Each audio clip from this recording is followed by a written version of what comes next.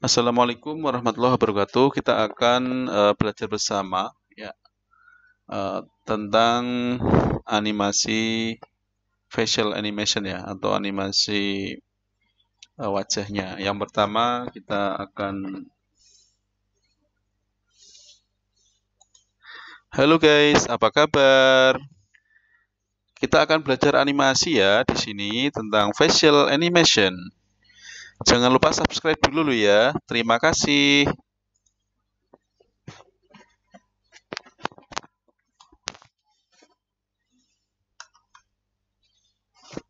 Nah, di sini uh, dia melakukan sinkronisasi ya.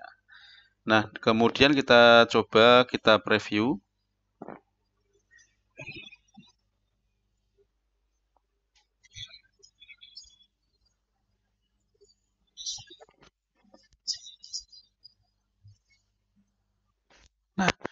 Di sini uh, sudah ada dialog. Nah, di sini kita sudah melihat juga uh, mulutnya sudah menyesuaikan dengan uh, voice-nya atau dengan suaranya. Kemudian kita mungkin uh, menambahkan uh, ketika halo guys itu kita tambahkan animasi uh, ekspresi uh, bodinya dia dada gitu ya. Nah, kita akan mencari animasinya. Nah, di sini. Nah, kalau uh, fokus uh, di sini kita mencari yang halo, yang, yang halo, halo guys, gitu ya. Nah di sini, nah di sini kita pilih play. Nah ketika apa kabar atau ketika uh, detik keempat kita bisa menambahkan ekspresi lain lagi. Ya. Nah di sini kita menambahkan seperti ini, kemudian kita oke, okay, kemudian kita play kita geser waktunya kita play jangan lupa kita preview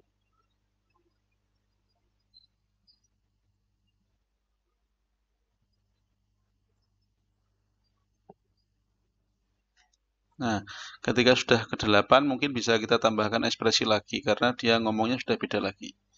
Kita pilih tanda plus, kemudian pilih action lagi. Nah, ini kita bisa pilihkan yang lain lagi ya di sini. Nah, kita apply. Ini taruh di menit ke-8, detik ke-8.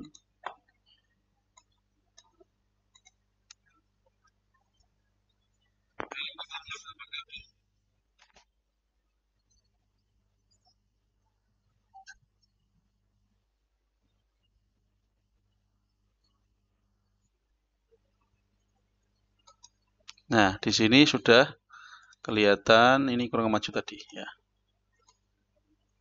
Jadi uh, saya play.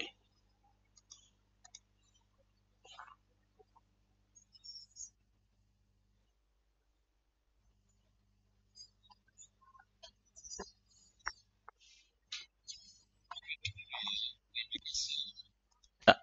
Oke, okay, uh, eh, seperti ini. Kemudian kita bisa menambahkan facial animation-nya dengan cara uh, ekspresinya di sini ya. Kita bisa pertama uh, uh, dia bahagia, kemudian pada saat uh, detik keempat mungkin dia bisa berubah lagi, tambah bahagia bisa. Kemudian pada saat ini jangan lupa subscribe loh ya. Ini mungkin agak-agak agak-agak agak sedih mungkin ya. Nah, misalnya seperti itu.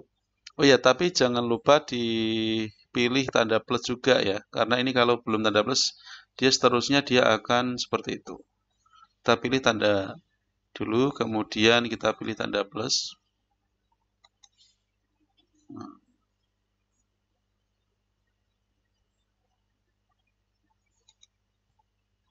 Nah, jadi yang pertama ini seperti ini. Kemudian pada kita oke okay dulu ya. Nah,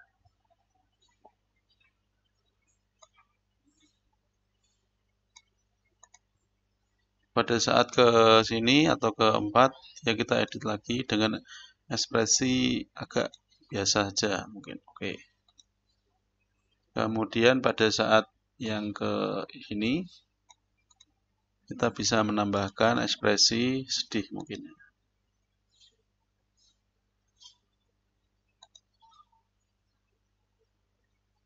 Nah, seperti ini. Ada tiga ekspresi. Kita tinggal di oke okay saja.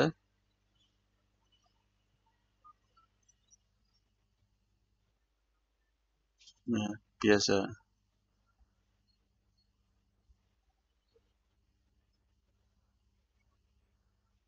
Nah, di sini uh, kita sudah bisa melihat uh, perbedaan animasinya, wajahnya, ekspresinya itu sudah kelihatan sekali.